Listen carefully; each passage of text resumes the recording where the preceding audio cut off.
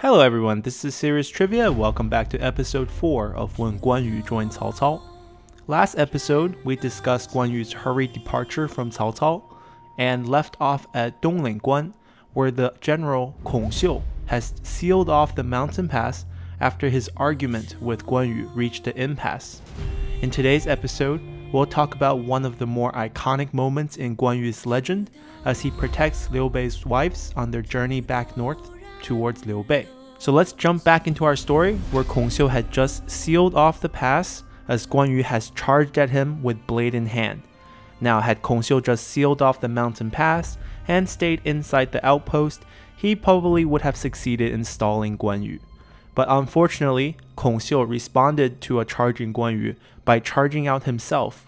Emboldened by his 500 men, Kong Xiu charged Guan Yu head on while yelling, Try to get through me, Guan Yu simply waved back the caravan and charged by himself straight at Kong Xiu.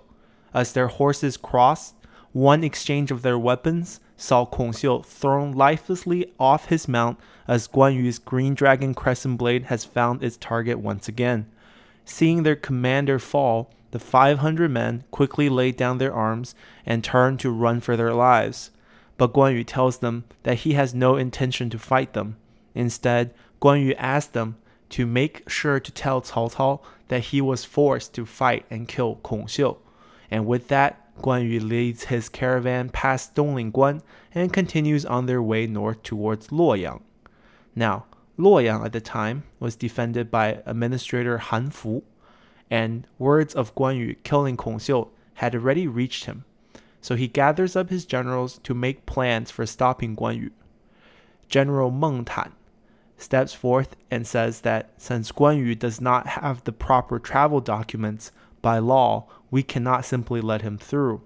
Han Fu nods, but expresses his concerns. Guan Yu has famously killed Yan Liang and Wen Chou with ease, so how are we supposed to stop him?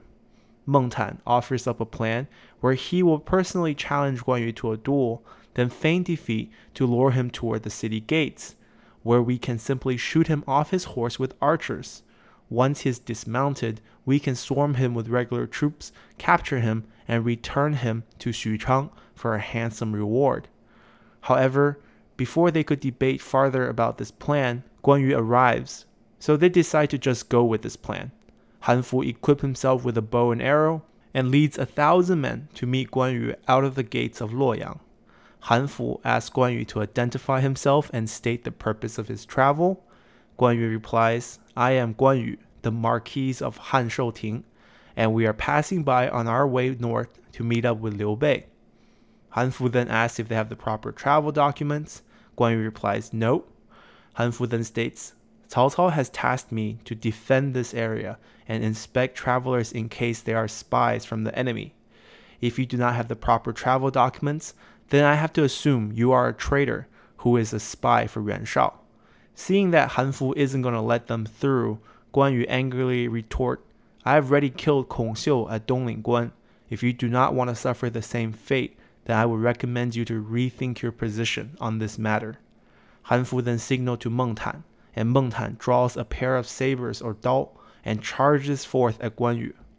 Meng Tan fights for less than three exchanges and then start to run back toward Han Fu according to their plan but the Red Hare once again proves to be too fast as Guan Yu easily catches up and with one big swing of the green dragon crescent blade, Guan Yu slices Meng Tan in half. But just as Guan Yu kills Meng Tan, Han Fu let loose the arrow and it finds its target on Guan Yu's left arm. Guan Yu pulls out the arrow with his mouth, and as blood gushes forth from his left arm, Guan Yu charges towards Han Fu and his men before they could retreat back into the gates. Han Fu desperately tries to mount his horse as his man tries to stall Guan Yu. But Guan Yu cuts through Han Fu's city guards with ease and comes up to Han Fu before he could even get back on his horse. And with another quick swing of the blade, Guan Yu takes Han Fu's head and shoulder right off. Then Guan Yu charges forth to rout the remaining city guards and easily guide his caravan through Luoyang, where they turn east towards Sishui Guan. Now, speaking of Sishui Guan, there is some history here for Guan Yu. Sishui Guan was where Guan Yu first saw action against Dong Zhuo, when Hua Xiong defended this stronghold against the coalition army. Guan Yu made a name for himself that day by killing Hua Xiong in a duel, so quickly that the hot wine poured for him by Cao Cao was still warm when he returned victoriously. However, nowadays, the pass is guarded by a general named Bianxi, who used to be a yellow turban general before surrendering to Cao Cao and is famed for using a morning star as a weapon. Knowing that he is no match for Guan Yu on the battlefield, Bianxi plans to welcome Guan Yu at a Buddhist temple behind the pass where he has hidden 200 axemen. Bianxi's plan is to sweet talk Guan Yu into a false sense of security and kill him finally at the banquet in this temple. So when Guan Yu arrives, Bianxi rides out to meet him. Bianxi sees Guan Yu and immediately starts to compliment him on his battle prowess, his loyalty to Liu Bei, and his honor. Seeing that Bianxi means no harm, Guan Yu tries to explain to him how he has been forced to fight and kill Kong Xiu and Han Fu and Bianxi nods and agrees and tells Guan Yu to not worry about it, as they deserve their death, and tells Guan Yu that he will personally report back to Cao Cao and plead on behalf for Guan Yu. So Bianxi escorts Guan Yu and the caravan safely through Sishui Guan and arrives at the temple. Bianxi says to Guan Yu, the journey ahead to the crossing to the north is still a long one, but before I leave you here, I have prepared a small banquet in your honor at this temple. Seeing no reason to refuse Bianxi's hospitalities, Guan Yu accepts, and as they walk into the temple, they were greeted by the 30 monks who reside in the temple. One of the monks approaches Guan Yu and asks him if he recognizes him. Guan Yu shakes his head, and the monk tells him that they are from the same hometown, and they had been neighbors during their childhood. Worried that this monk will tell Guan Yu of the trap inside, Bianxi tries to shoo him away. But Guan Yu, who had been forced to flee his hometown at a young age because he had murdered a local bully, is eager to catch up with this monk. The monk, whose Buddhist moniker is Pu Jing, offers to present some tea for Guan Yu and Liu Bei's wives. And as they walked away towards the lady's carriage, Pu Jing quickly grabs Guan Yu and motions his arm like a blade to warn him of the danger inside. Now sensing the danger, Guan Yu and his guards return to Bianxi and heads to the banquet, armed and ready for a fight. As Bianxi sat down at the banquet, Guan Yu scans the room and spots the man hidden in the hallways. So Guan Yu asks Bianxi if he means them any harm. Now, knowing the plan has failed, Bianxi yells out to his men, but before they could swarm the room, Guan Yu, with a short sword in hand, already dove towards Bianxi. Bianxi flees out of the room and runs to the courtyard where he has stashed his Morning Star. After a few exchanges, Guan Yu is having trouble dealing with the Morning Star's range with his short sword, so he tosses the sword away and grabs his Green Dragon Crescent Blade instead. Now, with a familiar weapon in hand, Guan Yu easily blocks Bianxi's swings and takes a big swipe with his own blade. Bianxi was split in half from head to the groin. With Bianxi now dead, Guan Yu fights his way back to his lady's carriage, which is now surrounded by Bianxi's men. But as soon as they see Guan Yu approach with a bloody blade in hand, they flee in terror, and Guan Yu's small group once again regains control of the situation. Guan Yu gives out his thanks to Pu Jing, and the group hastily takes their leave and heads for Xingyang. Xingyang is the last major city before the Yellow River crossing and it is defended by Administrator Wang Zhi. Now, Wang Zhi is the in-laws with the late administrator of Luoyang, Han Fu, who Guan Yu has just killed. So Wang Zhi eagerly wants revenge, but knowing that he stands no chance in an open fight against Guan Yu, Wang Zhi also lays a plan to trap Guan Yu. Like Bianxi, Wang Zhi rides out to welcome Guan Yu, and offers them the guest house to rest up for the night before they continue on their journey to the crossing. Seeing that Wang Zhi is going to let them through peacefully, Guan Yu agrees as their group is exhausted from their journey so far. That night, Wang Zhi summons his general Hu Ban and tells him that Guan Yu has not only betrayed Cao Cao by trying to join Liu Bei, but also have killed generals along the way. So it's justified that he must be killed. Wang Zhi commands Hu Ban to lead a thousand men, to surround the guest house tonight and just burn the house down, leaving none inside alive. Now, for those of you with good memory, you might have remembered Hu Ban's name from before. When Guan Yu first left Xuchang, their group spent the first night at the house of a village elder named Hu Hua. If you remember, Hu Hua had requested Guan Yu to deliver a letter to his son Hu Ban, who is an officer serving in Xingyang. So, as Hu Ban prepares his men to set the fire, he becomes curious and wants to sneak a peek of the legendary Guan Yu before setting him ablaze.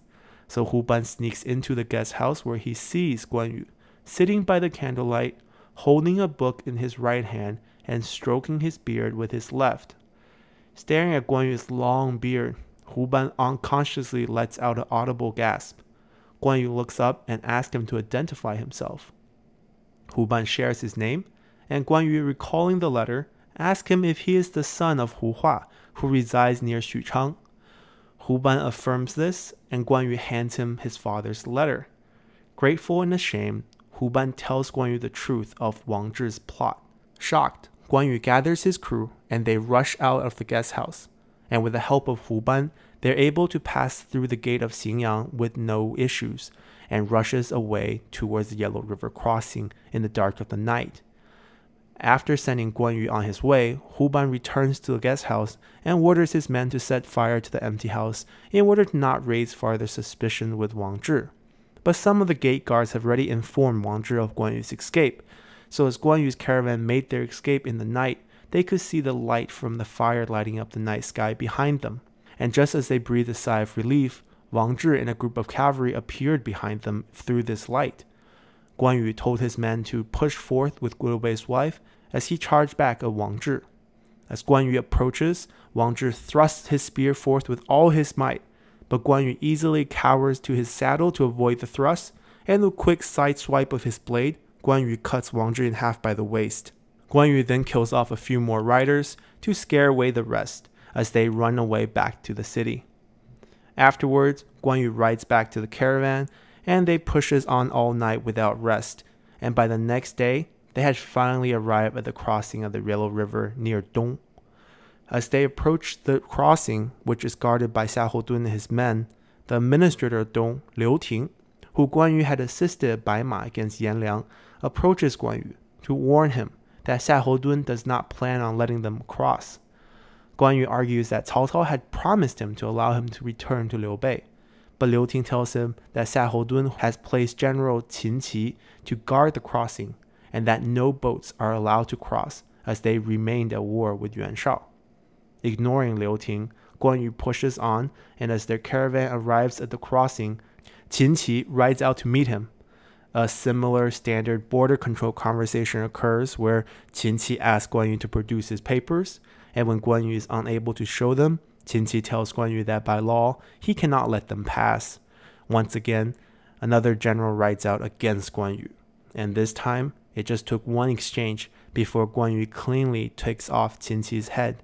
Seeing their general has fallen, the regular foot soldiers laid down their arm and agreed to ferry Guan Yu and his group across. Once across the river, Guan Yu is finally in Yuan Shao's territory, and after an arduous journey through five passes where Guan Yu was forced to kill six generals, they are finally safe and sound and on their way to reunite with Liu Bei. Or so they thought. As fate would has it, as soon as they land, a lone rider approaches them from the north. As he got closer, Guan Yu could make out the face of Sun Qian. If you remember, Sun Qian was the spy that Guan Yu had captured in Runan as he marched against the Yellow Turbans led by Gong Du. According to their plan then, Sun Qian was to make his way back to Yuan Shao with Gong Du and Liu Pi and find out how Yuan Shao felt about Guan Yu joining them. So now, as Sun Qian approaches Guan Yu, Sun Qian tells Guan Yu to turn back and hurry back across the Yellow River, as Liu Bei, Gong Du, and Liu Pi has been ostracized by Yuan Shao's own jealous northern commanders who have now placed the blame on their defeat on Liu Bei. So in order to prove their loyalty to Yuan Shao, Liu Bei had offered to take Gong Du and Liu Pi back with him to Runan as they will try to start up another Yellow Turban rebellion in the backside of Cao Cao's forces. Sun Qian says that he stayed behind at the crossing just to wait for Guan Yu to inform him, so that Guan Yu does not go to Yuan Shao by himself, where it's likely that he will be put to death. Hearing this, the group returns to the crossing and ferries themselves back to Cao Cao's side. And just as they plan to head south toward Runan, they see a cloud of dust approach their position. Vaguely through the dust, they could make out the word Xiahou on one of the banners. It is clear that news of Qin Qi's death has gotten back to Xiahou Dun, and now he has come for Guan Yu's head. To find out if Guan Yu's group can get through Xiahou Dun and finally reunite with Liu Bei, come back next episode as we conclude our When Guan Yu Joins Cao Cao lore series. This concludes our episode. I hope you guys enjoyed it. If you haven't done so already, please consider showing your support for the channel by subscribing. Once again, thank you for watching and see you next time. Bye!